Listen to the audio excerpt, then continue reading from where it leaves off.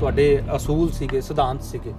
ਅੱਜ ਉੱਥੇ ਪੱਤਰਕਾਰਤਾ ਕਿੱਥੇ ਖੜੇ ਕਹਿ ਸਕਦੇ ਗਰਕਣ ਵਿੱਚ ਪੈ ਅਖਬਾਰਾਂ ਵਾਲੇ ਜਿਹੜੇ ਹੈਗੇ ਆ ਉਹ ਹੁਣ ਉਹ ਤੇ ਤੂਤੂ ਬਣ ਗਏ। ਮਾਲਟਾ ਕਿਸ਼ਤੀ ਕਾਂਡ ਬਾਰੇ ਤੁਹਾਡੇ ਮਨ ਵਿੱਚ ਕਿਵੇਂ ਆਇਆ ਕਿ ਇਹਦੀ ਜਾਂਚ ਹੋਣੀ ਚਾਹੀਦੀ ਹੈ? ਇਹਦੇ ਬਾਰੇ ਪਤਾ ਲੱਗਣਾ ਚਾਹੀਦਾ ਸਭ ਕੁਝ ਪੰਜਾਬ ਦੇ 170 ਮੁੰਡੇ ਡੁੱਬ ਗਏ। ਉਹਨਾਂ ਦੇ ਰਿਸ਼ਤੇਦਾਰ 8 8 10 10 ਸਾਰਾ ਪੰਜਾਬ ਰੋਂਦਾ ਸੀ।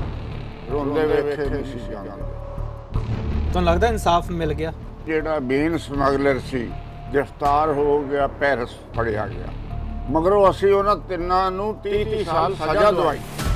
ਜੇਪੀ ਮੂਵਮੈਂਟ ਇਸ ਦੇਸ਼ ਦੇ ਵਿੱਚ ਬਹੁਤ ਵੱਡੀ ਮੂਵਮੈਂਟ ਰਹੀ ਹੈ ਇਹੋ ਜਿਹੀਆਂ ਮੂਵਮੈਂਟ ਅੱਜ ਕਿਉਂ ਨਹੀਂ ਹੋ ਪਾ ਰਹੀ ਕਿਸਾਨ ਮੂਵਮੈਂਟ ਦਾ ਇਹ ਜੇਪੀ ਮੂਵਮੈਂਟ ਵਰਗਾ। ਮੋਦੀ ਥੱਲੇ ਉਤਰ ਅਸੀਂ ਆਏ ਆ ਨਰਿੰਦਰ ਸਿੰਘ ਜਾਂ ਬਾਦਲ ਇਹ ਅੰਗਰੇਜ਼ਾਂ ਦੇ ਟੋਕ ਸੀ। ਹੁਣ ਤੁਹਾਡੇ ਮੁੱਖ ਮੰਤਰੀ ਬਣੇ ਹੋ ਆ। ਇਸ ਕਰਕੇ ਪੰਜਾਬ ਵਿੱਚ ਲੀਡਰਸ਼ਿਪ ਦੀ ਘਾਟ ਆ। ਨਹੀਂ ਪ੍ਰਕਾਸ਼ ਸਿੰਘ ਬਾਦਲ ਗਲਤ ਹੈ ਸੁਖਬੀਰ ਸਿੰਘ ਬਾਦਲ ਗਲਤ ਹੈ ਪ੍ਰਕਾਸ਼ ਸਿੰਘ ਬਾਦਲ ਦਾ 89 ਵਿੱਚ ਜਿਹੜੀ ਇਹਨ ਮਾਨਤਾ ਲਈ ਆ ਉਹ ਫਰਾਡ ਆ ਉਹ ਤੇ ਜੱਜ ਨੇ 23 ਸਫੇ ਦੇ ਫੈਸਲੇ ਵਿੱਚ ਕਹਿ ਦਿੱਤਾ ਇਹ ਦੋਸ਼ੀ ਆ। ਜਸਟ ਟੀਵੀ ਦੇਖ ਰਹੇ ਹੋ ਤੁਸੀਂ ਮੈਂ ਕੇਪੀ ਸਿੰਘ ਵਿਊ ਪੁਆਇੰਟ ਵਿੱਚ ਤੁਹਾਡਾ ਸਭ ਦਾ ਸਵਾਗਤ ਕਰਦਾ। ਅਸੀਂ ਲਗਾਤਾਰ ਵਿਊ ਪੁਆਇੰਟ ਦੇ ਵਿੱਚ ਅਲੱਗ-ਅਲੱਗ ਸ਼ਖਸੀਅਤਾਂ ਨਾਲ ਤੁਹਾਨੂੰ ਰੂਬਰੂ ਕਰਵਾਉਂਦੇ ਹਾਂ। ਅੱਜ ਇਹੋ ਜਿਹੀ ਇੱਕ ਸ਼ਖਸੀਅਤ ਮੇਰੇ ਨਾਲ ਮੌਜੂਦ ਹੈ, ਜਿਨ੍ਹਾਂ ਨੇ ਆਪਣੀ ਜ਼ਿੰਦਗੀ ਦਾ ਬਹੁਤਾ ਹਿੱਸਾ ਜਿਹੜਾ ਉਹ ਸਮਾਜ ਦੇ ਲਈ ਲਾ ਦਿੱਤਾ। ਤੇ ਇੰਨਾ ਕੁ ਸਿਰਟ, ਇੰਨਾ ਕੁ ਹੌਸਲਾ ਇਹ ਕਦੇ ਡੋਲੇ ਨਹੀਂ। ਜੇ ਮਾਲਟਾ ਕਿਸ਼ਤੀ ਕਾਂਡ ਦਾ ਜ਼ਿਕਰ ਕੀਤਾ ਜਾਵੇ, ਉਸ ਦੇ ਲਈ ਇਹਨਾਂ ਨੇ ਬਹੁਤ ਜ਼ਿਆਦਾ ਹਿੰਮਤ ਕੀਤੀ। ਇਸ ਤੋਂ ਇਲਾਵਾ ਜਿੰਨੀਆਂ ਵੀ ਮੂਵਮੈਂਟਸ ਹੋਈਆਂ ਵੱਡੀਆਂ ਵੱਡੀਆਂ ਉਸ ਵਿੱਚ ਪਾਰਟਿਸਿਪੇਟ ਕੀਤਾ। ਸੋਸ਼ਲਿਸਟ ਪਾਰਟੀ ਦੇ ਫਾਊਂਡਰ ਮੈਂਬਰ ਜਨਤਾ ਦਲ ਦੇ ਪ੍ਰਧਾਨ ਰਹੇ। ਇਸ ਤੋਂ ਇਲਾਵਾ ਅਨੇਕਾਂ ਹੀ ਜਿਹੜੀਆਂ ਮੂਵਮੈਂਟਸ ਸੀ, ਉਹਦੇ ਵਿੱਚ ਪਾਰਟਿਸਿਪੇਟ ਕੀਤਾ। ਰਾਮ ਮਨੋਹਰ ਲੋਹੀਆ ਨੂੰ ਸਮਝਣ ਵਾਲੇ, ਉਹਨਾਂ ਦੇ ਪਦ ਚਿੰਨ੍ਹਾਂ ਤੇ ਚੱਲਣ ਵਾਲੇ ਜੈ ਪ੍ਰਕਾਸ਼ ਨਾਰਾਇਣ ਦੀ ਮੂਵਮੈਂਟ ਦੇ ਵਿੱਚ ਹਿੱਸਾ ਪਾਉਣ ਵਾਲੇ, ਬਲਵੰਤ ਸਿੰਘ ਖੇੜਾ ਸਾਡੇ ਨਾਲ ਮੌਜੂਦ ਹੈ। ਖੇੜਾ ਸਾਹਿਬ, ਬਹੁਤ ਸਵਾਗਤ ਹੈ ਸਰ ਤੁਹਾਡਾ। ਬਹੁਤ ਧੰਨਵਾਦ ਜੀ, ਜਸਪੀ ਦੇ ਸਰੋਤਿਆਂ ਨੂੰ ਔਰ ਵਿਸ਼ੇਸ਼ ਕਰਕੇ ਕੇਪੀ ਸਿੰਘ ਜੀ, ਉਹਨਾਂ ਨੂੰ ਮਿਲਾਉਣ ਵਾਸਤੇ। ਬੜਾ ਸ਼ੁਕਰੀਆ। ਤੁਹਾਡੀ ਬਹੁਤ ਉਮਰ ਹੋ ਗਈ ਹੈ ਪਰ ਇਸ ਉਮਰ ਦੇ ਵਿੱਚ ਵੀ ਤੁਹਾਡਾ ਹੌਸਲਾ ਅੱਜ ਵੀ ਉਵੇਂ ਹੀ ਹੈ। ਤੇ ਮੈਂ ਸਲਾਮ ਕਰਦਾ ਤੁਹਾਡੇ ਹੌਸਲੇ ਨੂੰ। ਇੰਨਾ ਸਿਰੜ ਇੰਨਾ ਹੌਸਲਾ ਕਿਵੇਂ ਲੈ ਕੇ ਆਏ ਹੋ ਤੁਸੀਂ ਖੇੜਾ ਸਾਹਿਬ? ਇਹਨੂੰ ਪ੍ਰਮਾਤਮਾ ਦੀ ਬਖਸ਼ਿਸ਼ ਵੀ ਸਕ ਕਹਿ ਸਕਦੇ ਆ ਬਾਕੀ ਮੂਵਮੈਂਟਾਂ ਜਿਹੜੀਆਂ ਜਿਹੜੇ ਲੀਡਰਾਂ ਦੇ ਨਾਲ ਚੱਲੇ ਉਹਨਾਂ ਤੋਂ ਵੀ ਬੜੇ ਉਤਸ਼ਾਹਤ ਹੋਏ ਔਰ ਸਾਡੇ ਵੱਲੋਂ ਵੇਖ ਕੇ ਕਈ ਹੋਰ ਉਤਸ਼ਾਹਤ ਹੋਏ। ਇਹ ਜੀਵਨ ਪ੍ਰਯੰਤ ਚੱਲਦਾ ਰਿਹਾ ਪ੍ਰੋਗਰਾਮ ਔਰ ਮੈਨੂੰ ਤੇ ਵੀ ਸਿੰਘ ਜੀ ਕਈ ਵਾਰੀ ਪਿੱਛੋਂ ਝਾਸ ਮਾਰਦੇ ਆ ਵੀ ਅਨਹੋਣੀ ਹੋਣੀ ਬਦਲਣ ਦਾ ਬਖਸ਼ਿਸ਼ ਹੈ ਸਾਨੂੰ ਸ਼ਾਇਦ।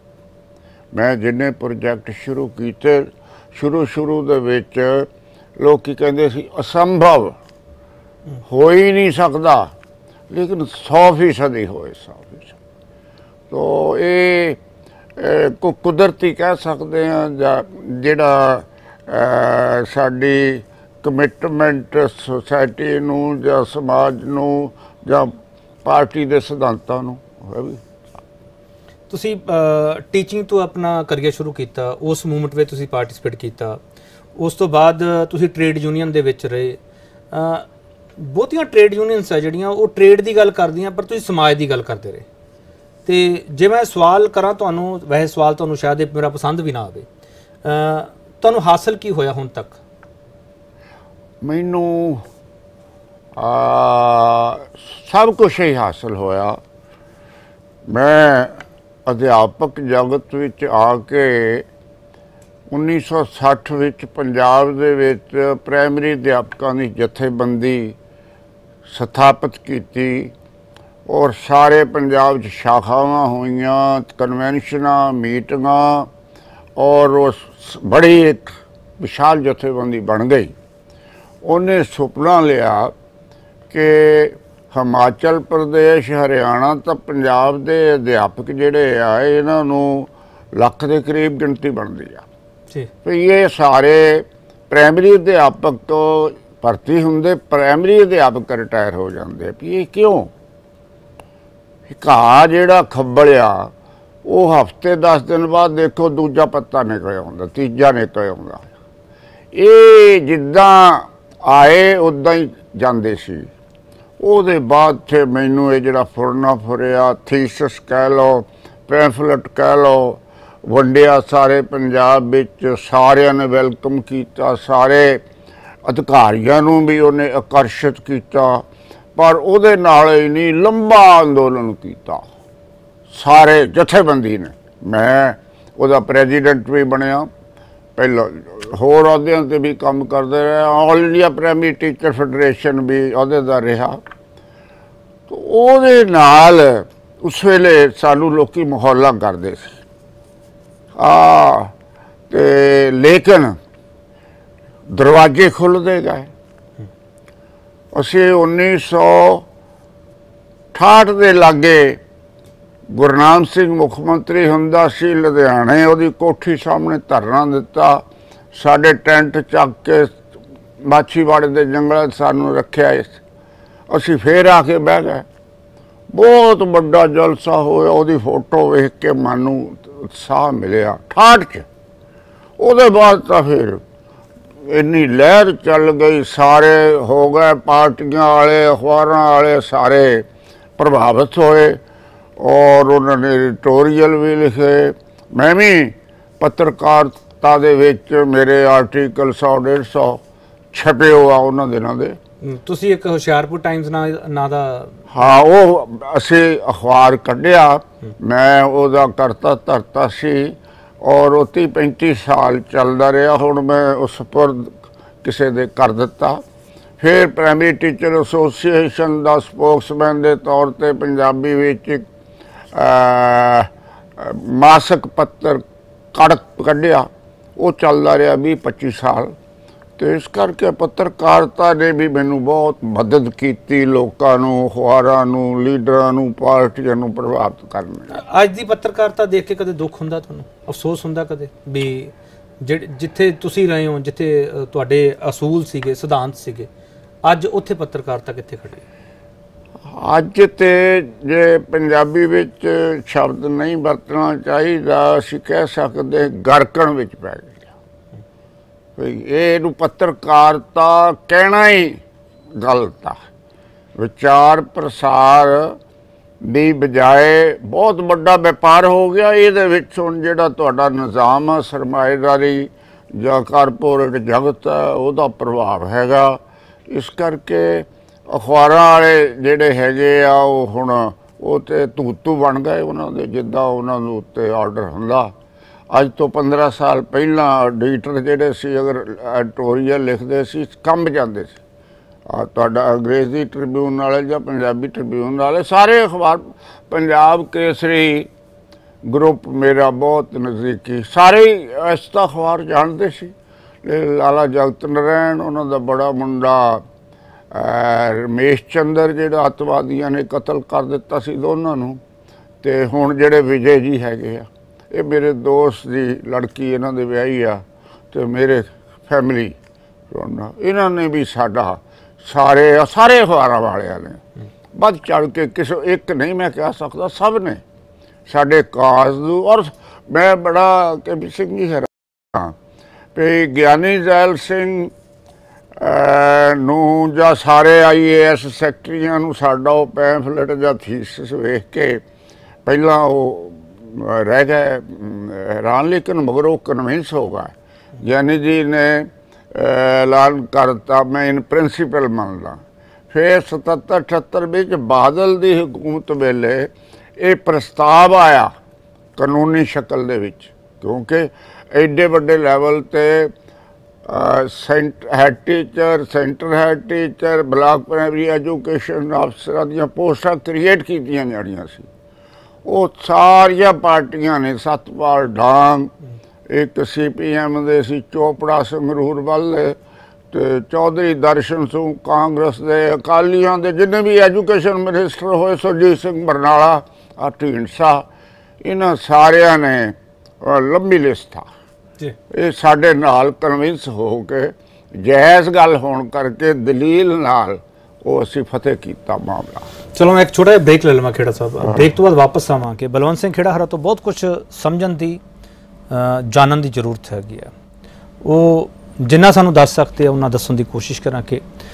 ਜਿੰਨਾ ਉਹਨਾਂ ਤੋਂ ਬੋਲਿਆ ਜਾ ਰਿਹਾ ਉਹਨਾਂ ਉਹ ਬੋਲਣਗੇ। ਅਸੀਂ ਕੋਸ਼ਿਸ਼ ਕਰਾਂਗੇ ਉਹਨਾਂ ਤੋਂ ਸਵਾਲ ਲੈ ਕੇ। ਵਾਪਸ ਆ ਕੇ ਮਾਲਟਾ ਕਿਸ਼ਤੀ ਕਾਂਡ ਬਾਰੇ ਸਵਾਲ ਹੋਵੇਗਾ ਜ਼ਰੂਰ।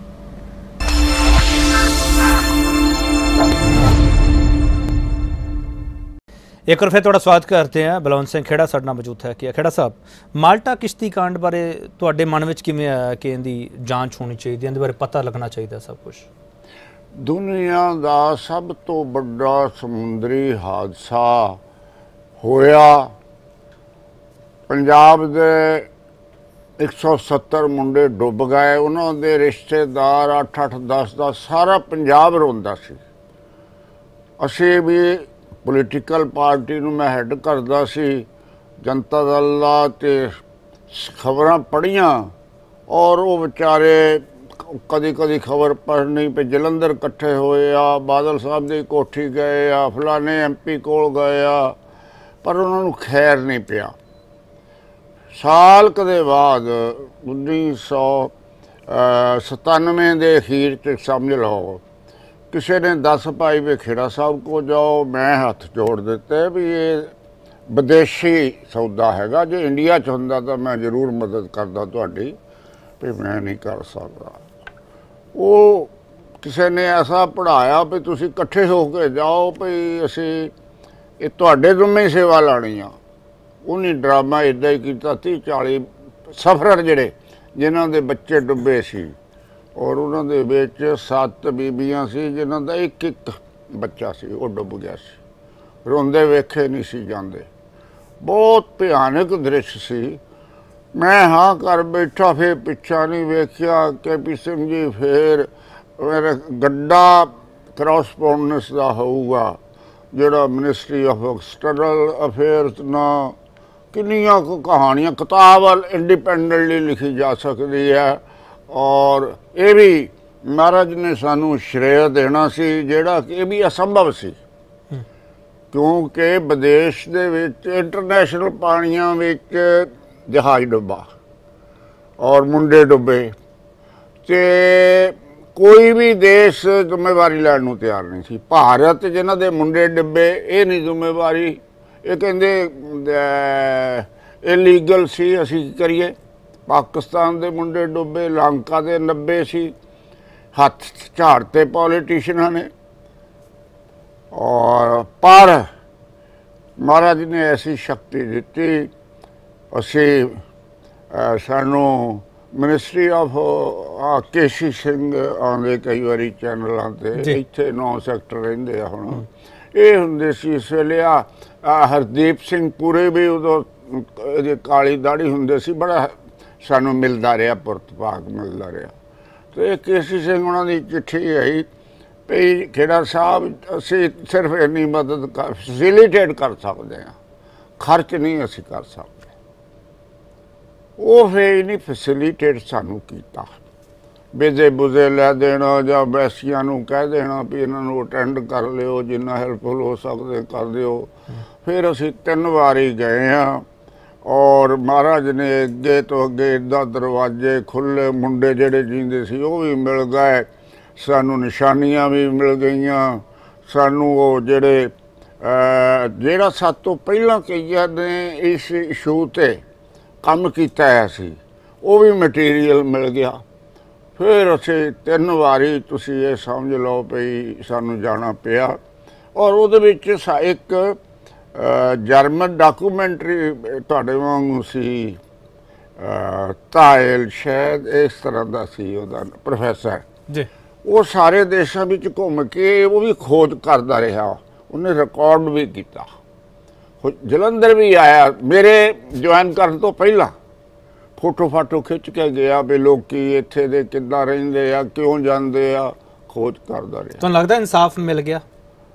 ਆ ਇਨਸਾਫ ਤਾਂ ਅਸੰਭਵ ਆ ਲੇਕਿਨ ਇਨਕੁਆਰੀ 100% ਅਸੀਂ ਸਫਲ ਹੋਏ। ਤੇ ਹੁਣ ਸਾਡੇ ਨਾਲ ਹਰ ਰੋਜ਼ ਮਾਲਟਾ ਵਾਪਰਦਾ ਪਿਆ ਮਾਲਟਾ ਕਾਂਡ ਵਾਪਰਦਾ ਪਿਆ ਰੋਜ਼ ਸਾਡੇ ਨਾਲ ਵਾਪਰਦਾ ਪਿਆ।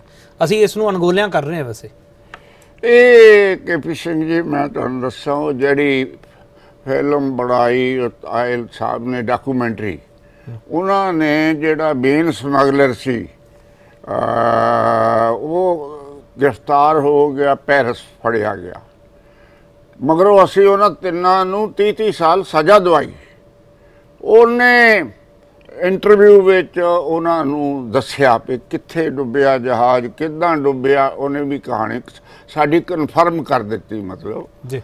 ਤੇ ਫਿਰ ਉਹ ਕਹਿੰਦਾ ਓਏ ਯੂਰਪ ਵਾਲਿਓ ਤੁਸੀਂ ਸਾਰਾ ਜਿਹੜਾ ਜ਼ਹਿਰਾਂ ਤੇ ਸਮਾਨ ਇੱਥੇ ਦਾ ਪ੍ਰੋਡਕਟ ਕਰਕੇ ਅੰਡਰ ਡਿਵੈਲਪ ਕੰਟਰੀ ਤੇ ਸਿੱਟਦੇ ਹੋ। ਉੱਥੇ ਮੁੰਡੇ ਬੇਕਾਰ ਹੁੰਦੇ ਉਹ ਕਿੱਥੇ ਜਾਣ? ਉਹ ਆਉਂਦੇ ਆ ਇੱਕ ਜਾਇਜ਼ ਆਈ ਹੀ ਵਾਸ ਜਸਟੀਫਾਈਂਗ ਇਟ ਜੀ। ਹਾਲਾਂਕਿ ਉਹਨੇ 18 ਕਰੋੜ ਰੁਪਇਆ ਉਹਨਾਂ ਕੋਲੋਂ ਮੁੰਡਿਆਂ ਕੋਲੋਂ ਲਿਆਇਆ ਸੀ ਏਜੰਟਾਂ ਦੇ ਮਾਰਫਤ। ਤਾਂ ਮੇਰਾ ਮਤਲਬ ਉਹ ਸਮਗਲਰ ਸੀ ਇੰਟਰਨੈਸ਼ਨਲ ਸਮਗਲਰ ਸੀ। ਪਰ ਉਹ ਇਦਾਂ ਜਸਟੀਫਾਈ ਕਰਦੇ ਸੀ ਵੀ ਅਸੀਂ ਗਲਤ ਕੰਮ ਨਹੀਂ ਕਰ ਰਹੇ ਸੇਵਾ ਕਰ ਰਹੇ ਹਾਂ। ਇਹ ਮੁੰਡੇ ਡੁੱਬ ਗਏ ਮਾੜੀ ਗੱਲ ਹੋ ਗਈ। ਤੇ ਜੇ ਚਲੇ ਜਾਂਦੇ ਅਸੀਂ ਪਹਿਲਾਂ ਕਿੰਨੇ ਭੇਜੇ ਆ ਮਗਰੋਂ ਕਿੰਨੇ ਭੇਜੇ ਆ ਵੀ ਇਹ ਅਸੀਂ ਸੇਵਾ ਕਰ ਰਹੇ ਹਾਂ ਅਸੀਂ ਗਲਤ ਕੰਮ ਨਹੀਂ ਕਰ ਰਹੇ। ਤੁਸੀਂ ਮਾਲਟਾ ਕਾਂਡ ਦਾ ਜ਼ਿਕਰ ਕੀਤਾ ਬੜੇ ਸੰਖੇਪ ਵਿੱਚ ਤੁਸੀਂ ਸਭ ਕੁਝ ਸਾਨੂੰ ਦੱਸਤਾ। ਜੇਪੀ ਮੂਵਮੈਂਟ ਇਸ ਦੇਸ਼ ਦੇ ਵਿੱਚ ਬਹੁਤ ਵੱਡੀ ਮੂਵਮੈਂਟ ਰਹੀ ਹੈ। ਇਹੋ ਜਿਹੀਆਂ ਮੂਵਮੈਂਟ ਅੱਜ ਕਿਉਂ ਨਹੀਂ ਹੋ ਪਾ ਰਹੀਆਂ? ਅਸੀਂ ਉਸ ਪੱਧਰ ਤੇ ਕਿਉਂ ਨਹੀਂ ਪਹੁੰਚ ਪਾ ਰਹੇ ਜਾਂ ਸਾਡੇ ਕੋਲੇ ਉਹੋ ਜੀ ਲੀਡਰਸ਼ਿਪ ਨਹੀਂ ਹੈਗੀ, ਜਾਂ ਸਿਆਸੀ ਪਤਨ ਹੋ ਗਿਆ। ਤੁਹਾਡਾ ਸਵਾਲ ਬਹੁਤ ਵਾਜਬ ਹੈ। ਅਸੀਂ ਇਹਦੇ ਤੇ ਸਾਰੇ ਭਾਰਤ ਦੇ ਵਿੱਚ ਹੁਣ ਮੈਂ ਥੋੜਾ ਬਿਮਾਰ ਹਾਂ, ਲੇਕਿਨ ਅਸੀਂ ਸਾਰੀ ਉਮਰ ਘੁੰਮਦੇ ਰਹੇ ਕੋਈ ਸੂਬਾ ਕੋਈ ਛੱਡਿਆ ਨਹੀਂ ਜਿੱਥੇ ਸਾਡਾ ਯੂਨਿਟ ਨਾ ਹੋਵੇ ਜਾਂ ਮੀਟਿੰਗਾਂ ਨਾ ਕੀਤੀਆਂ ਹੋਣ। ਤੇ ਜਿਹੜੀ ਸਾਡਾ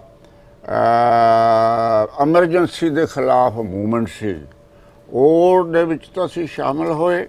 ਇਸ ਕਰਕੇ ਅਸੀਂ ਅੰਦਾਜ਼ਾ ਲਗਾ ਸਕਦੇ ਹਾਂ ਜਦੋਂ ਲੋਕੀ ਉੱਠਦੇ ਆ, ਅਹ ਖਾਲੀ ਕਰੋ। ਜਿੱਦਾਂ ਅੱਜ ਕੋਈ ਕਹਿਣ, ਮੋਦੀ ਥੱਲੇ ਉਤਰ। ਅਸੀਂ ਆਏ ਆ ਇਹ ਜਦੋਂ ਲੋਕੀ ਇਕੱਠੇ ਹੁੰਦੇ ਆ ਔਰ ਮੈਂ ਸਮਝਦਾ ਜਿਹੜੀ ਇਹ ਕਿਸਾਨ ਮੂਵਮੈਂਟ ਹੈ, ਇਹ ਵੀ ਗੁਰੂ ਨਾਨਕ, ਗੁਰੂ ਗੋਬਿੰਦ ਸਿੰਘ ਜੀ ਦੀ ਵਿਚਾਰਧਾਰਾ ਔਰ ਮਹਾਤਮਾ ਗਾਂਧੀ ਜੀ ਦਾ ਜਿਹੜਾ ਅਹਿੰਸਾ ਦਾ ਹਥਿਆਰ ਦੇ ਕੇ ਚੱਲੇ ਆ, ਸ਼ਾਬਾਸ਼ ਲੀਡਰਾਂ ਦੇ, ਸ਼ਾਬਾਸ਼ ਜਿਹੜੇ ਉੱਥੇ ਗਰਮੀ ਸਰਦੀ ਵਿੱਚ ਬੈਠੇ ਆ ਸ਼ਾਬਾਸ਼ ਉਹ ਦੇਸ਼ ਨੂੰ ਔਰ ਦੁਨੀਆ ਨੂੰ ਰਾਹ ਵਿਖਾਉਂਦੇ ਆ ਪਈ ਸਚਾਈ ਵਾਸਤੇ ਅੜੇ ਰਹੋ ਤਾਂ ਅਖੀਰ ਨੂੰ ਜਿੱਤ ਹੁੰਦੀ ਆ। ਔਰ ਮੈਂ ਸਮਝਦਾ ਕਿ ਭਾਰਤ ਵਿੱਚ ਜਿਹੜੀ ਨਿਰਾਸ਼ਾ ਉਹ ਚੋਂ ਕੱਢਣ ਲਈ ਇਹ ਸਭ ਤੋਂ ਵੱਡਾ ਜਿਹੜੀ ਹੈ ਕਿਸਾਨ ਮੂਵਮੈਂਟ। ਅੱਗੇ ਵੀ ਇਹਨੇ ਕੁਝ ਕਰਾਮਾਤਾਂ ਕੀਤੀਆਂ, ਅੱਗੇ ਨੂੰ ਹੋਰ ਕਰਾਮਾਤਾਂ ਕਰੂ। ਤੁਸੀਂ ਇਸ ਕਿਸਾਨ ਸੰਘਰਸ਼ ਨੂੰ, ਜਿਹੜੇ ਸੰਘਰਸ਼ਾਂ 'ਚ ਤੁਸੀਂ ਪਾਰਟਿਸਿਪੇਟ ਕੀਤਾ ਉਸ ਦੇ ਮੁਕਾਬਲੇ ਕਿੱਥੇ ਮੰਨਦੇ ਹੋ, ਜਿਹੜਾ ਹੁਣ ਵਾਲਾ ਕਿਸਾਨ ਸੰਘਰਸ਼? ਇਹ ਜਿਹੜਾ ਕਿਸਾਨ ਮੂਵਮੈਂਟ ਦਾ ਇਹ ਜੇਪੀ ਮੂਵਮੈਂਟ ਵਰਗਾ। ਕਿਉਂਕਿ ਹਰ ਪਿੰਡ, ਹਰ ਇੱਕ ਲੋਕ, ਹਰ ਇੱਕ ਸੂਬਾ, ਉਦੋਂ ਨਾਰਥਰਨ ਇੰਡੀਆ ਉਹਦੇ ਵਿੱਚ ਵੀ ਪਹਿਲਾਂ ਇਨਵੋਲਵ ਸੀ ਜ਼ਿਆਦਾ। ਹਾਂਜੀ, ਗੁਜਰਾਤ ਤੋਂ ਸ਼ੁਰੂ ਹੋਇਆ, ਨਾ- ਨਰਵਾਣ ਮੂਵਮੈਂਟ, ਫਿਰ ਬਿਹਾਰ ਚ ਆ ਗਈ, ਫਿਰ ਯੂਪੀ ਚ ਆ ਗਈ ਤੇ ਪੰਜਾਬ ਵਿੱਚ ਵੀ ਖੀਰ ਜੇ ਚ ਆ ਗਈ, ਫਿਰ ਇੱਥੇ ਸਾਰੇ ਜਗ੍ਹਾ ਹੀ ਹੋ ਗਈ। ਪਰ ਉਹ ਲੀਡਰ ਐਸਾ ਸੀ ਜਿਹਨੂੰ ਅਸੀਂ ਕਹਿ ਸਕਦੇ ਹਾਂ ਲਾਭਸਾਲ ਲੀਡਰ। ਜੈ ਪ੍ਰਕਾਸ਼ ਤੇ ਬਾਰ-ਬਾਰ ਨਹੀਂ ਜੰਮਦੇ। ਤੇ ਨਹਿਰੂ ਦੇ ਲੈਵਲ ਦਾ ਲੀਡਰ ਸੀ, ਪ੍ਰਧਾਨ ਮੰਤਰੀ ਵੀ ਬਣ ਸਕਦਾ ਸੀ, ਪਰ ਉਹਨੇ ਸਾਰੀ ਚੀਜ਼ਾਂ ਠੁਕਰਾ ਦਿੱਤੀਆਂ ਲੋਕਾਂ ਵਾਸਤੇ। ਤੇ ਇਸ ਕਰਕੇ ਇਹ ਵੀ ਲੀਡਰ ਲੈਸਾ ਹੱਲੇ ਪੰਜਾਬ। ਮੈਂ ਜਿਹੜਾ ਕਾਂਗਰਸ ਜਾਂ ਅਕਾਲੀ ਜਾਂ ਆਮ ਆਦਮੀ ਪਾਰਟੀਆਂ ਜਿਹੜਾ ਇਹਨਾਂ ਨੂੰ ਅਸੀਂ ਲੁਟੇਰਾ ਗਰੋਹ ਸਮਝਦੇ ਹਾਂ, ਇਹਨਾਂ 'ਚ ਕੋਈ ਲੀਡਰ ਨਹੀਂ। ਕੋਈ ਦੂ- ਦੂਸਰਿਆਂ ਨਾਲੋਂ ਸਮਾਜ ਲਈ ਸੋਚਣ ਵਾਲਾ, ਜ਼ਿੰਦਗੀ ਦੇਣ ਵਾਲਾ, ਤਪੱਸਿਆ ਕਰਨ ਵਾਲਾ ਕੋਈ ਵੀ ਨਹੀਂ। ਹੁਣ ਰਾਜਾ ਤੁਹਾਡੇ ਅਮਰਿੰਦਰ ਸਿੰਘ ਜਾਂ ਬਾਦਲ, ਇਹ ਅੰਗਰੇਜ਼ਾਂ ਦੇ ਟੌਟ ਸੀ। ਹੁਣ ਤੁਹਾਡੇ ਉਹ ਮੁੱਖ ਮੰਤਰੀ ਬਣੇ ਹੋ ਆ। ਇਸ ਕਰਕੇ ਪੰਜਾਬ ਵਿੱਚ ਲੀਡਰਸ਼ਿਪ ਦੀ ਘਾਟ ਆ। ਪਰ ਪੰਜਾਬ ਬਾਝ ਨਹੀਂ। ਕਿਸਾਨ ਮੂਵਮੈਂਟ ਨੇ ਦੱਸ ਦਿੱਤਾ। ਜੀ। ਭਈ ਜਿਹੜਾ ਜਿੰਨੀਆਂ 32 ਯੂਨੀਅਨਾਂ ਸੀ ਉਹਨਾਂ ਨੇ ਨਾਲ ਹੋਰ 45 ਕੀਤੀਆਂ ਔਰ ਸਰਬਸੰਮਤੀ ਨਾਲ ਜਿਹੜਾ ਪੰਜ ਪ੍ਰਧਾਨੀ ਅਸੂਲ ਆ। ਸਾਰਿਆਂ ਨੂੰ ਨਾਲ ਲੈ ਕੇ ਚੱਲੋ। ਜਿਹੜਾ ਅੱਗੇ ਆ ਪਿੱਛੇ ਆ ਸਾਗਰਮਿਆਂ ਸਰਦਿਆ ਇਹ ਬਹੁਤ ਵਧੀਆ ਗੱਲ ਹੋਈ ਔਰ 10 ਦਿਨ ਨਹੀਂ ਇਕੱਠੇ ਹੋ ਕੇ ਚੱਲ ਸਕਦੇ, ਉਹਨਾਂ ਨੇ ਇੰਨਾ ਚੱਲ ਕੇ ਦੱਸ ਦਿੱਤਾ। ਇਹ ਬੜੀ ਇਹ ਬੜੀ ਸਾਨੂੰ ਆਸ਼ਾ ਵਧਾਉਂਦਾ ਹੂੰ, ਸੋ ਮੈਂ ਇੱਕ ਹੋਰ ਛੋਟਾ ਬ੍ਰੇਕ ਲਵਾਂਗਾ ਖੇੜਾ ਸਾਹਿਬ ਨੇ ਕਿਸਾਨ ਮੂਵਮੈਂਟ ਨੂੰ ਜੇਪੀ ਮੂਵਮੈਂਟ ਦੇ ਨਾਲ ਜੋੜ ਕੇ ਦੇਖਿਆ। ਇਹ ਕਿਸਾਨ ਮੂਵਮੈਂਟ ਹੈ ਜਿਹੜੀ, ਉਹ ਦੇਸ਼ ਦੀ ਆਜ਼ਾਦੀ ਤੋਂ ਬਾਅਦ ਇੱਕ ਬਹੁਤ ਵੱਡਾ ਸੰਘਰਸ਼ ਹੈ। ਇਸ ਸੰਘਰਸ਼ ਵਿੱਚੋਂ ਕੀ ਕੁਝ ਨਿਕਲੇਗਾ ਸਾਨੂੰ ਅੱਜ ਨਹੀਂ ਪਤਾ। ਪਰ ਖੇੜਾ ਸਾਹਿਬ ਹੈ ਇੰਨੀ ਉਮਰ ਵਿੱਚ ਵੀ 86 ਸਾਲਾਂ ਦੀ ਉਮਰ ਹੋ ਚੁੱਕੀ ਹੈ, ਅੱਜ ਵੀ ਲੜਾਈ ਲੜਦੇ ਪਏ ਹੈ। ਲੜਾਈ ਸਿਧਾਂਤਾਂ ਦੀ ਹੈ, ਲੜਾਈ ਨੈਤਿਕਤਾ ਦੀ ਹੈ। ਇਸ ਲੜਾਈ ਦੇ ਵਿੱਚ ਇਹਨਾਂ ਨੇ ਸ਼੍ਰੋਮਣੀ ਅਕਾਲੀ ਦਲ ਨੂੰ ਵੀ ਹੱਥ ਪਾਇਆ ਹੋਇਆ ਹੈ। ਉਹਨਾਂ ਵਿਰੁੱਧ ਵੀ ਇਹਨਾਂ ਨੇ ਕੇਸ ਕੀਤੇ ਹੋਏ ਹੈ। ਦੋ ਸੰਵਿਧਾਨ ਦਾ ਮਾਮਲਾ ਹੈ। ਪੂਰਾ ਮਾਮਲਾ ਕੀ ਹੈ, ਸੰਖੇਪ ਵਿੱਚ ਸਮਝਣ ਦੀ ਕੋਸ਼ਿਸ਼ ਕਰਾਂਗੇ। ਵਾਪਸ ਆ ਰਹੇ ਹਾਂ।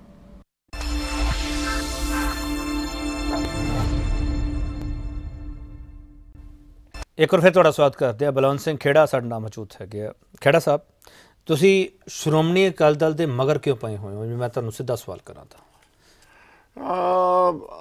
ਅਸੀਂ ਕਿਸੇ ਵਿਅਕਤੀ ਵਿਸ਼ੇਸ਼ ਜਾਂ ਇੱਕ ਪਾਰਟੀ ਦੇ ਖਿਲਾਫ ਨਾ ਹੋਣ ਦੀ ਗੱਲ ਕਰਕੇ ਸੋਸ਼ਲਿਸਟ ਪਾਰਟੀ ਦਾ ਸਾਡਾ ਹਰ ਸਾਲ ਪ੍ਰਸਤਾਵ ਹੁੰਦਾ ਵੀ ਫਿਰਕਾ ਪ੍ਰਸਤ ਪਾਰਟੀਆਂ ਤੇ ਪਾਬੰਦੀ ਲਗਾਓ। ਔਰ ਸਾਰੀਆਂ ਪਾਰਟੀਆਂ ਨੂੰ ਆਰਟੀਆਈ ਐਕਟ ਦੇ ਤਹਿਤ ਲਿਆਓ। ਔਰ ਮੈਂ ਪਹਿਲਾ ਆਦਮੀ ਸੀ 19 2009 ਚ ਸੀਆਈਸੀ ਸੈਂਟਰਲ ਇਨਫੋਰਮੇਸ਼ਨ ਕਮਿਸ਼ਨ ਦੇ ਵਿੱਚ ਪਟੀਸ਼ਨ ਪਾਈ ਤੇ ਸਾਰੀਆਂ ਪਾਰਟੀਆਂ ਹਿਸਾਬ ਕਿਤਾਬ ਦੇਣ, ਪਾਰਦਰਸ਼ਤਾ ਹੋਵੇ, ਕਿਉਂਕਿ ਮੈਂ ਸਮਝਦਾ ਵੀ ਭਾਰਤ ਵਿੱਚ ਸਾਰੀਆਂ ਬਿਮਾਰੀਆਂ ਦੀ ਜੜੇ ਪੋਲੀਟੀਕਲ ਪਾਰਟੀਆਂ 26 2700 ਪਾਰਟੀਆਂ ਉਹਦੇ ਵਿੱਚੋਂ 2 2.5 2 2000 ਦੇ ਕਰੀਬ ਤਾਂ ਫਰਾਡ ਹੈਗੇ ਹੀ ਆ। ਮਤਲਬ ਜਿਹੜੀਆਂ ਐਗਜ਼ਿਸਟ ਵੀ ਨਹੀਂ ਕਰਦੀਆਂ ਦਫ਼ਤਰ ਵੀ ਨਹੀਂ ਜਾਲੀ ਆ ਔਰ ਉਹਨਾਂ ਨੂੰ ਕੋਈ ਪੁੱਛ ਇੱਕ ਵਾਰੀ ਰਜਿਸਟਰ ਜਾ ਕੇ ਕਰਾਤਾ ਤੇ ਚੱਲੀ ਜਾਂਦਾ ਕੰਮ ਕੋਈ ਪੁੱਛਣ ਵਾਲਾ ਨਹੀਂ। ਜੀ। ਤੇ ਇਹ ਜਿੰਨਾ ਚਿਰ ਪਾਰਟੀਆਂ ਨਹੀਂ ਸੂਤ ਹੁੰਦੀਆਂ ਉਹਨਾਂ ਚਿਰ ਦੇਸ਼ ਦਾ ਸਮਾਜ ਦਾ ਕੁਝ ਨਹੀਂ ਬਣਨਾ ਔਰ ਸਿੱਧਾ ਰਸਤਾ ਨਹੀਂ ਇਹਨਾਂ ਨੂੰ ਨਹੀਂ ਇਹ ਸ਼੍ਰੋਮਣੀ ਅਕਾਲੀ ਦਲ ਦੇ ਦੋ ਸੰਵਿਧਾਨ ਦਾ ਮਾਮਲਾ ਹੈ। ਹੋਰ ਕਿਸੇ ਪਾਰਟੀ ਦਾ ਨਹੀਂ ਇਹੋ ਜਿਹਾ ਮਾਮਲਾ ਹੈਗਾ? ਆ ਮੈਂ ਤੁਹਾਨੂੰ ਦੱਸ ਰਿਹਾ ਵੀ ਇਹ ਸਾਰੀਆਂ ਹੁਣ ਬੀਜੇਪੀ ਆ। ਇਹ ਵੀ ਫਿਰਕਾ ਪ੍ਰਸ ਪਾਰਟੀ ਬੀਐਸਪੀ ਇਹਦੇ ਵਿੱਚੋਂ ਅ, 13 ਪਾਰਟੀਆਂ ਦੇ ਖਿਲਾਫ ਇੱਕ ਕੇਰਲ ਦਾ ਭਾਈ ਜੈਕਬ ਕੁੰਜੂ ਸੁਪਰੀਮ ਕੋਰਟ ਗਿਆ ਉਹਦੀ ਪਟੀਸ਼ਨ ਐਡਮਿਟ ਹੋ ਗਈ ਬਲਵੰਤ ਸਿੰਘ ਖੇੜਾ ਵੀ ਉਹਦੇ ਨਾਲ ਜਾ ਕੇ ਖੜਿਆ ਵਕੀਲ ਕਰਕੇ ਪ੍ਰਸ਼ਾਂਤ ਭੂਸ਼ਣ ਅਸੀਂ ਰਲੇ ਲੜੇ ਤੇ ਉਹ ਫਿਰ ਕਹਿੰਦੇ, ਹਰ ਪਾਰਟੀ ਬਾਰੇ ਤੁਸੀਂ ਰਿਕਾਰਡ ਲਿਆਓ। ਉਹ ਅਸੀਂ ਦੋਨੋਂ ਬੁੱਢੇ ਆਦਮੀ ਕਿੱਥੋਂ ਪਾਰਟੀਆਂ 13 ਦਾ ਇਕੱਠਾ ਕਰਨਾ ਸੀ? ਫਿਰ ਅਸੀਂ ਸ਼੍ਰੋਮਣੀ ਅਕਾਲੀ ਦਲ ਦਾ, ਕਿਉਂਕਿ ਪੰਜਾਬ ਦਾ ਸੀ ਮਾਮਲਾ ਹੀ ਅਸੀਂ ਚੱਕ ਲਿਆ ਵੀ ਇੱਕ ਨੂੰ ਮਾਰ ਕੇ ਕਾਮਾਂ ਨੂੰ ਟੰਗ ਦੇਵਾਂਗੇ। ਬਾਕੀ ਦੇਸ਼ ਦੀਆਂ ਬਾਕੀ ਪਾਰਟੀਆਂ ਨੂੰ ਫਿਰ ਮਗਰੋਂ ਕੋਈ ਹੋਰ ਹੱਥ ਪਾ ਲਓ ਸਾਡਾ ਰਾਹ ਰਾਹ ਤਾਂ ਅਸੀਂ ਖੋਲ ਦਈਏ। ਔਰ ਉਹ ਬੀੜਾ ਚੱਕਿਆ। ਔਰ ਉਹਦੇ ਵਿੱਚ ਸਾਨੂੰ 100% ਦੀ ਉਮੀਦ ਹੈ ਕਿ ਸੰਵਿਧਾਨ ਕਾਨੂੰਨ ਸਚਾਈ ਸਾਡੇ ਨਾਲ ਹੈ ਔਰ ਸ਼੍ਰੋਮਣੀ ਅਕਾਲੀ ਦਲ ਦੇ ਪਾਰਟੀ ਸਾਰੀ ਹਾਈ ਕਮਾਂਡ ਇਨਵੋਲਵਡ ਹੈ ਸਾਰੇ ਫਰੰਟ ਦੇ ਤੁਹਾਡੇ ਵਿੱਚ। ਤੇ ਇੱਕ ਸਵਾਲ ਚੱਕਿਆ ਜਾਂਦਾ ਖੇੜਾ ਸਾਹਿਬ ਕਿ ਇਹਨੇ ਮੋਰਚੇ ਲਾ ਕੇ ਇਹ ਪਾਰਟੀ ਬਣੀ ਹੈ ਸ਼੍ਰੋਮਣੀ ਅਕਾਲੀ ਦਲ। ਇਹਦਾ ਬਹੁਤ ਵੱਡਾ ਇਤਿਹਾਸ ਹੈ। ਉਹ 100 ਸਾਲ ਪੁਰਾਣੀ ਪਾਰਟੀ ਨੂੰ ਤੁਸੀਂ ਲੋਕ ਖਤਮ ਕਰਨ ਲੱਗੇ ਹੋਏ ਹੋ। ਅਸੀਂ ਪਾਰਟੀ ਨੂੰ ਖਤਮ ਨਹੀਂ ਕਰਨ ਲੱਗੇ। 25 ਜਨਵਰੀ 1950 ਨੂੰ ਭਾਰਤ ਦਾ ਸੰਵਿਧਾਨ ਲਾਗੂ ਹੋ ਗਿਆ। ਉਹ ਤੋਂ ਪਹਿਲਾਂ ਦਾ ਇਹ ਕਾਨੂੰਨ ਸੀ ਇਹਨਾਂ ਦਾ ਪਾਰਟੀਆਂ ਚੱਲੀ ਜਾਂਦੀਆਂ ਸੀ। ਉਹਦੇ ਬਾਅਦ ਜਦ ਉਹਨਾਂ ਨੇ ਤੈਅ ਕਰ ਦਿੱਤਾ ਵੀ ਇਸ ਭਾਰਤ ਦੇ ਸੈਕੂਲਰ ਡੈਮੋਕ੍ਰੈਟਿਕ ਔਰ ਸੋਸ਼ਲਿਸਟ ਹੋਣਾ ਜਿਹੜੀ ਪਾਰਟੀ ਸੈਕੂਲਰ ਨਹੀਂ ਉਹ ਤਾਂ ਰਹਿਣੀ ਨਹੀਂ ਸੀ ਚਾਹੀਦੀ ਮੁਸਲਿਮ ਲੀਗ ਜਿਹਨ ਪਾਕਿਸਤਾਨ ਬਣਾਇਆ ਉਹ ਵੀ ਸਾਡੇ ਐਮਐਲਏ ਐਮਪੀ ਬਣਾਈ ਜਾਵੇ ਵਜ਼ੀਰ ਵੀ ਸੈਂਟਰ ਚ ਉਹਨਾਂ ਦੇ ਰਹੇ ਆ। ਔਰ ਇਦਾਂ ਹੀ ਹੋਰ ਸ਼ਿਵ ਸੈਨਾ ਬੀਜੇਪੀ ਅਕਾਲੀ ਜਿਹੜਾ ਅਕਾਲੀ ਦਲ ਮੈਨੂੰ ਯਾਦ ਆ ਮੈਂ ਨਿਊਯਾਰਕ ਸੀ ਜੋਗਿੰਦਰ ਸਿੰਘ ਬਦਾਂਤੀ ਜਿਹੜੇ ਜਥੇਦਾਰ ਸਾਹਿਬ ਪੂਰੇ ਹੋਏ ਆ ਦੋ ਤਿੰਨ ਮਹੀਨੇ ਹੋਏ ਆ ਸ੍ਰੀ ਅਕਾਲ ਤਖਤ ਸਾਹਿਬ ਦੇ ਉਹਨਾਂ ਦੀ ਇੰਟਰਵਿਊ ਓਏ ਸ਼ਰਮਣੀ ਅਕਾਲੀ ਦਲ ਵਿੱਚੋਂ ਅਕਾਲੀ ਸ਼ਬਦ ਕੱਢ ਦਿਓ, ਇਹਨੂੰ ਬਦਨਾਮ ਨਾ ਕਰੋ। ਤੁਹਾਡੇ ਵਿੱਚ ਅਕਾਲੀ ਤਾਂ ਕੋਈ ਵੀ ਨਹੀਂ। ਅਕਾਲੀ ਹੁੰਦਾ ਜਿਹੜਾ ਸਿੱਖ ਰਹਿਤ ਮਰਜ਼ਾਦਾ ਤੇ ਚੱਲੇ, ਅੰਮ੍ਰਿਤ ਛਕੇ ਔਰ ਜਿਹੜਾ ਹੈਗਾ ਉਸ ਬੰਦਸ਼ ਚ ਰਹੇ, ਉਸ ਜ਼ਾਬਤੇ ਵਿੱਚ ਰਹੇ। ਇਹਨਾਂ ਵਿੱਚੋਂ ਤਾਂ ਕੋਈ ਵੀ ਹੈ ਨਹੀਂ, ਇਹ ਅਕਾਲੀ ਕਿੱਥੋਂ ਹੋਏ? ਉਹ ਕਹਿੰਦਾ ਇਹ ਹਰ ਇੱਕ ਨੂੰ ਕਿ ਇਕੱਲੇ, ਇਹ ਸ਼੍ਰੋਮਣੀ ਅਕਾਲੀ ਦਲ ਬਾਦਲ ਨੂੰ ਨਹੀਂ ਅੰਮ੍ਰਿਤਸਰ ਜਿੰਨੇ ਵੀ ਅਕਾਲੀ ਬਣੇ ਹੋ ਸੀ ਵੀ ਇਹਦੇ ਵਿੱਚੋਂ ਸ਼੍ਰੋਮਣੀ ਅਕਾਲੀ ਦਲ ਵਿੱਚੋਂ ਅਕਾਲੀ ਸ਼ਬਦ ਕੱਢੋ ਇਹ ਰਿਕਾਰਡਡ ਆ। ਨਹੀਂ ਮੰਨੀ ਇਹ ਸਿਆਸੀ ਲੋਕ ਕਿੱਥੇ ਮੰਨਦੇ ਆ? ਹੁਣ ਪੁੱਠੇ ਲਟਕਾਵਾਂਗੇ ਤਾਂ ਇਹਨਾਂ ਨੂੰ ਸਜ਼ਾਵਾਂ ਵੀ ਮਿਲਣਗੀਆਂ ਚਟਾਲੇ ਤਾਂ ਲਾਲੂ ਮਾਗੂ ਜੇਲ੍ਹ ਵੀ ਜਾਣਗੇ ਔਰ ਕੰਨ ਹੋ ਜਾਣਗੇ ਅਸੀਂ ਇਹੀ ਕਰ ਸਕਦੇ ਕਿਹਨੂੰ। ਜੇਲ੍ਹ ਭੇਜਣਾ ਚਾਹੁੰਦੇ ਤੁਸੀਂ? ਜੀ? ਕਿਹਨੂੰ ਜੇਲ੍ਹ ਭੇਜਣਾ ਚਾਹੁੰਦੇ ਤੁਸੀਂ? ਕਿਸੇ ਨੂੰ ਵੀ ਨਹੀਂ ਜਿਹੜਾ ਗਲਤ ਜਿਨ੍ਹਾਂ ਨੇ ਗੱਲ ਕੀਤੀ ਉਹ ਆ। ਨਹੀਂ, ਪ੍ਰਕਾਸ਼ ਸਿੰਘ ਬਾਦਲ ਗਲਤ ਹੈ, ਸੁਖਬੀਰ ਸਿੰਘ ਬਾਦਲ ਗਲਤ ਹੈ। ਪ੍ਰਕਾਸ਼ ਸਿੰਘ ਬਾਦਲ ਦਾ 89 ਵਿੱਚ ਜਿਹੜੀ ਇਹਨ ਲਈ ਆ, ਉਹ ਫਰਾਡ ਆ, ਉਹ ਤੇ ਜੱਜ ਨੇ 23 ਸਫੇ ਦੇ ਫੈਸਲੇ ਵਿੱਚ ਕਹਿ ਦਿੱਤਾ, ਇਹ ਦੋਸ਼ੀ ਆ। ਪ੍ਰਾਈਮਾ ਫੇਸੀ ਦੇ ਆਰ ਗਿਲਟੀ ਮੈਨ ਔਰ ਇਹਨਾਂ ਦਫਾ ਦੇ ਵਿੱਚ ਉਹ ਤਾਂ ਰਿਕਾਰਡਡ ਆ, ਜੱਜ ਦਾ ਫੈਸਲਾ ਬਲਵੰਤ ਸਿੰਘ ਖੇੜੇ ਦਾ ਨਹੀਂ। ਹੁਣ ਇਹਨੀ ਸਟੇ ਲੈ ਲਿਆ 25 30 ਲੱਖ ਰੁਪਈਆ ਕਰਕੇ ਉਹ ਸਟੇ ਟੁੱਟਿਆ, ਤਾਂ ਇਹਨਾਂ ਨੂੰ ਪੇਸ਼ ਹੋਣਾ ਪੈਣਾ ਉੱਥੇ। ਔਰ ਸਜ਼ਾ ਵੀ ਹੋਣੀ ਆ। ਕਿੱਥੇ ਭੱਜ ਜਾਊਗਾ? ਤੁਹਾਨੂੰ ਉਮੀਦ ਹੈ ਸਜ਼ਾ ਹੋਊਗੀ। ਦੇਖੋ ਕਾਨੂੰਨ ਮੁਤਾਬਕ ਲਾਲੂ ਵੀ ਗਿਆ ਹੀ ਆ ਨਾ ਉਹਨੂੰ ਕੌਣ ਸਮਝਦਾ ਸੀ? ਕਿੰਨਾ ਉਹ ਦਿੱਲੀ ਵਿੱਚ ਵੀ ਤਾਂ ਬਾਦਲ ਵਾਂਗੂ ਵਜ਼ੀਰ ਰਿਹਾ ਉਹ ਵੀ। ਤੇ ਚੁਟਾਲਾ ਘੱਟ ਸੀ ਇਹ ਤਾਂ ਸਧਾਰਨ ਭਰਾ ਬਣਿਆ ਤੇ ਹੈ ਤਾਂ ਇਹ ਫਰਾਡ ਪੀਪਲ ਆ ਨਾ। ਜਿੰਨੇ ਲੀਡਰਸ਼ਿਪ ਹੈ ਇਹ ਇਮਾਨਦਾਰ ਜਾਂ ਸਿੰਸੀਅਰ ਜਾਂ ਸਿਆਸੀ ਆਦਮੀ ਨਹੀਂ। ਇਹ ਗੁੰਡਾ ਗਰੋਹ ਆ। ਔਰ ਇਸੇ ਕਰਕੇ ਜਿੰਨਾ ਚਿਰ ਸਾਰੀਆਂ ਸਿਆਸੀ ਪਾਰਟੀਆਂ ਦਾ ਆਪਣੇ ਵਿਧਾਨ ਤੇ ਨਹੀਂ ਚੱਲਦੀਆਂ ਆਪਣੇ ਮੈਨੀਫੈਸਟੋ ਤੇ ਨਹੀਂ ਚੱਲਦੀਆਂ ਔਰ ਇਹਨਾਂ ਦੇ ਵਿੱਚ ਜਿਹਨੂੰ ਕਹਿੰਦੇ ਜਮਹੂਰੀਕਰਨ ਨਾ ਤੱਕ ਨਹੀਂ ਖਾਨਦਾਨੀ ਪਾਰਟੀਆਂ ਬੜੀਆਂ ਲਿਖ ਕੇ ਦਿੱਤਾ ਆ ਵੀ ਹਰ ਸਾਲ ਚੁਣਾਵ ਹੋਊਗੇ। ਬਲਾਕ ਦੇ ਜ਼ਿਲ੍ਹੇ ਦੇ ਸੂਬੇ ਦੇ ਦੇਸ਼ ਦੇ ਇਹਨਾਂ ਦੇ ਹੋਏ ਨਹੀਂ ਕਦੀ ਵੀ। ਹਾਂਜੀ ਉਹ ਜੋ ਲੰਬੀ ਗੱਲ ਚਲੇ ਜਾਏਗੀ ਪਰ ਇਹ ਫਰਾਡ ਅੱਗੇ ਨੂੰ ਨਹੀਂ ਚੱਲੇਗਾ। ਚਲੋ ਆਖਰੀ ਸਵਾਲ ਕੁਝ ਲੈ ਰਿਹਾ ਮੈਂ ਤੁਹਾਡੇ ਤੋਂ। ਖੇੜਾ ਸਾਹਿਬ ਇੱਕ ਮੈਂ ਕਈ ਵਾਰੀ ਤੁਹਾਡੇ ਭਾਸ਼ਣ ਸੁਣੇ ਆ। ਉਸ ਸੰਬੋਧਨ ਵਿੱਚ ਤੁਸੀਂ ਸਮਾਜ ਦੇ ਚਾਰ ਥੰਮ ਗਨਾਉਂਦੇ ਹੋ। ਕਿਹੜੇ ਥੰਮ ਤੁਸੀਂ ਕਹਿੰਦੇ ਹੋ ਚਾਰ ਥੰਮ? ਆਹ ਕੀ ਬਾਤ ਆ। ਪਿਛਨ ਜੀ ਸੋਸ਼ਲਿਸਟ ਮੂਵਮੈਂਟ ਦਾ ਜਿਹੜੇ ਨਿਸ਼ਾਨੇ ਸੀ ਇੱਕ ਪੈਂਫਲੇਟ ਡਾਕਟਰ ਰਾਮਨੋਰ ਲੋਹੀਆ ਦਾ ਇਸ ਬਾਰੇ ਚਖੰਬਾ ਰਾਜ ਬਾਰੇ 1950 ਦਾ ਛਪਿਆ। ਉਹ ਸਾਰੀਆਂ ਭਾਸ਼ਾਵਾਂ ਵਿੱਚ ਹੈ ਸੀ ਵੀ ਛਪਾਇਆ ਸੀ। ਅਸੀਂ ਉਹਦੇ ਸੰਬੰਧ ਦੇ ਵਿੱਚ, ਪੰਜਾਬ ਦੇ ਵਿੱਚ, ਜਲੰਧਰ ਛਾਉਣੀ ਚ ਵੀ, ਹੁਸ਼ਿਆਰਪੁਰ ਵੀ ਤਿੰਨ ਚਾਰ ਸਮਾਗਮ ਕੀਤੇ ਔਰ ਆਲ ਇੰਡੀਆ ਲੈਵਲ ਦੇ ਲੀਡਰ ਪ੍ਰੋਫੈਸਰ ਮਧੂ ਦੰਡਵਤੇ ਰ- ਰਜਿੰਦਰ ਸੱਚਰ ਜਿਹੜੇ ਚੀਫ ਜਸਟਿਸ ਹੋਏ, ਸਾਡੀ ਸਾਰੀ ਲੀਡਰਸ਼ਿਪ ਆਈ।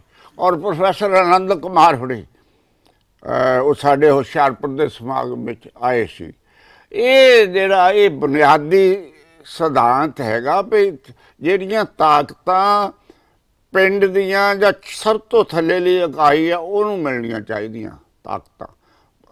ਆਰਥਿਕ ਵੀ ਔਰ ਜਿਹੜੀਆਂ ਪ੍ਰਸ਼ਾਸਨਿਕ ਵੀ, ਲੇਕਿਨ ਇਹ ਸਾਰੀਆਂ ਪਾਰਟੀਆਂ ਦਿੱਲੀ ਵਾਲਿਆਂ ਨੇ ਹੜੱਪ ਲਈਆਂ ਜਾਂ ਚੰਡੀਗੜ੍ਹ ਵਾਲੇ ਦਬ ਕੇ ਬੈਠੇ ਆ ਆ ਹੁਣ ਸੁਣਦੇ ਆ ਵੀ 15 15 ਕਰੋੜ ਰੁਪਈਆ ਹਰ ਐਮਐਲਏ ਨੂੰ ਦੇਣਾ, ਉਹ ਪੰਚਾਇਤਾਂ ਦਾ, ਲੋਕਾਂ ਦਾ, ਇਹਨਾਂ ਚਾਰ ਖੰਭਿਆਂ ਦੀ ਆ ਮਤਲਬ ਉਹਨਾਂ ਦਾ ਜ਼ਿਲ੍ਹਾ ਪਰਿਸ਼ਦ ਔਰ ਪੰਚਾਇਤ ਸਮਤਾਂ ਦਾ ਪੈਸਾ। ਇਹ ਉਹਨੂੰ ਮਿਸਯੂਜ਼ ਕਰਦੇ ਆ ਵੀ ਅਸੀਂ ਤੁਹਾਨੂੰ ਦੇ ਰਹੇ ਹਾਂ, ਤੁਸੀਂ ਕੌਣ ਹੁੰਦੇ ਦੇਣ ਵਾਲੇ? ਇਹ ਤਾਂ ਲੋਕਾਂ ਦਾ ਪੈਸਾ। ਤਾਂ ਇਸ ਕਰਕੇ ਚੌਖੰਬਾ ਰਾਜ ਸਮਾਜਵਾਦੀਆਂ ਦਾ ਨਾਰਾ ਰਿਹਾ ਔਰ ਅਸੀਂ ਸਮਝਦੇ ਹਾਂ ਇਹਦੇ ਵਿੱਚ ਹੀ ਸਾਡੇ ਦੇਸ਼ ਦੇ ਲੋਕਾਂ ਦੀ ਮੁਕਤੀ ਆ। ਤੇ ਪਿੰਡ ਬਚਾਓ ਪੰਜਾਬ ਬਚਾਓ ਮੁਹਿੰਮ ਦਾ ਹਾਂ ਉਹ ਵੀ ਇਹਦੇ ਨਾਲ ਅਸੀਂ ਸੰਗੀ ਢਾਂਚੇ ਦੀ ਗੱਲ ਕਰਦੇ ਹੋ ਹਾਂ ਤੁਸੀਂ। ਸੰਗੀਤ ਮੈਂ ਇੱਕ ਆਖਰੀ ਸਵਾਲ ਆਖ ਸਵਾਲ ਨਹੀਂਗਾ ਖੇੜਾ ਸਾਹਿਬ। ਤੁਸੀਂ ਕੁਝ ਕਹਿਣਾ ਚਾਹੁੰਦੇ ਹੋ ਆਪਦੇ ਮੁਖਾਰਬਨ ਤੋਂ? ਮੈਂ ਇਹੀ ਕਹਿ- ਕਹਿਣਾ ਚਾਹੂੰਗਾ ਵੀ ਜਿਹੜਾ ਸਿਆਸੀ ਸੱਭਿਆਚਾਰ ਦੇਸ਼ ਦਾ 1964 ਕੁ ਤੱਕ ਤੇ ਆਜ਼ਾਦੀ ਮੂਵਮੈਂਟ ਦਾ ਪ੍ਰਭਾਵ ਕਰਕੇ ਉਹ ਦੇਵਤੇ ਆਦਮੀ ਸੀ। ਮਗਰੋਂ ਇਹ ਸਾਰੀਆਂ ਪਾਰਟੀਆਂ ਵਿੱਚ ਕੈਰੀਅਰਿਸਟ ਕਰਪਟ ਔਰ ਜਿਹੜੇ ਵੀ ਸ਼ੈਤਾਨ ਲੋਕ ਦਾਖਲ ਹੋ ਗਏ ਔਰ ਇਹਨਾਂ ਦੇ ਰੋਕਣ ਵਾਸਤੇ ਜਿਹੜਾ ਸੋ ਸਾਡਾ ਹੈ ਇਹਨਾਂ ਦਾ ਪਾਰਟੀਆਂ ਦਾ ਪਾਰਦਰਸ਼ਤਾ ਔਰ ਉਹਨਾਂ ਦੀ ਅਕਾਊਂਟੇਬਿਲਿਟੀ ਔਰ ਉਹਨਾਂ ਦੀ ਡੈਮੋਕ੍ਰੈਟਿਕ ਫੰਕਸ਼ਨ ਜੇ ਹੋਏਗੀ ਫਿਰ ਇਹ ਸੁਧਾਰ ਹੋ ਸਕਦਾ। ਬਹੁਤ ਧੰਨਵਾਦ ਖੇੜਾ ਸਾਹਿਬ ਤੁਹਾਡਾ। ਸ਼ੁਕਰੀਆ। ਮੌਕਾ ਦਿੱਤਾ। ਇਹ ਸਨ ਬਲਵੰਤ ਸਿੰਘ ਖੇੜਾ। ਇਹਨਾਂ ਨਾਲ ਗੱਲਾਂ ਬਾਤਾਂ ਹੋਰ ਵੀ ਕਰਨ ਨੂੰ ਮਨ ਕਰਦਾ ਹੈ। ਦੁਆ ਸਿਰਫ ਇਹੀ ਕਰਦਾ ਕਿ ਇਹ ਸਿਹਤਯਾਬ ਰਹਿਣ। ਇਦਾਂ ਹੀ ਆਪਣੇ ਸੰਘਰਸ਼ ਵਿੱਚ ਅੱਗੇ ਨਿਕਲਦੇ ਰਹਿਣ ਤੇ ਮੈਨੂੰ ਇਹਨਾਂ ਦਾ ਇੰਟਰਵਿਊ ਕਰਨ ਦਾ ਮੌਕਾ ਮਿਲਦਾ ਰਹੇ ਤੁਹਾਡੇ ਸਾਹਮਣੇ ਨੈਤਿਕਤਾ ਦੀ ਗੱਲ, ਸਿਧਾਂਤਾਂ ਦੀ ਗੱਲ ਹੁੰਦੀ ਰਹੇ ਜੇ ਸੰਘਰਸ਼ ਲੰਬੇ ਹੁੰਦੇ ਆ, ਸੰਘਰਸ਼ ਸੱਚੇ ਹੁੰਦੇ ਆ, ਤਾਂ ਸੰਘਰਸ਼ ਅੰਜਾਮ ਤੱਕ ਵੀ ਪਹੁੰਚਦੇ ਆ। ਜੇ ਸੰਘਰਸ਼ ਵਿੱਚ ਝੂਠ ਹੋਵੇ, ਮੁਸ਼ਕਲਾਂ ਆਉਂਦੀਆਂ ਤੇ ਝੂਠ ਹੈ ਜਿਹੜਾ, ਉਹ ਕਦੇ ਨਾ ਕਦੇ ਹਾਰਦਾ ਹੀ ਹੈ। ਬਲਵੰਤ ਸਿੰਘ ਖੇੜਾ ਹਰਾਂ ਨੂੰ ਜਿੰਨਾ ਮੈਂ ਸਮਝਦਾ, ਤੁਸੀਂ ਜਿੰਨਾ ਸਮਝਦੇ ਹੋ ਮੈਨੂੰ ਜਿੰਨਾ ਪਤਾ ਲੱਗਿਆ, ਬਲਵੰਤ ਸਿੰਘ ਖੇੜਾ ਹਰਾਂ ਦੀ ਲੜਾਈ ਸਿਧਾਂਤਾਂ ਦੀ ਹੈ, ਨੈਤਿਕਤਾ ਦੀ ਹੈ। ਇਹ ਲੜਾਈ ਐਵੇਂ ਜਾਰੀ ਰਹੇਗੀ ਤੇ ਖੇੜਾ ਸਾਹਿਬ ਦੀ ਸਿਹਤਯਾਬੀ ਲਈ ਇੱਕ ਵਾਰ ਫਿਰ ਦੁਆ ਕਰਦੇ ਹਾਂ। ਅੱਜ ਲਈ ਧੰਨਵਾਦ।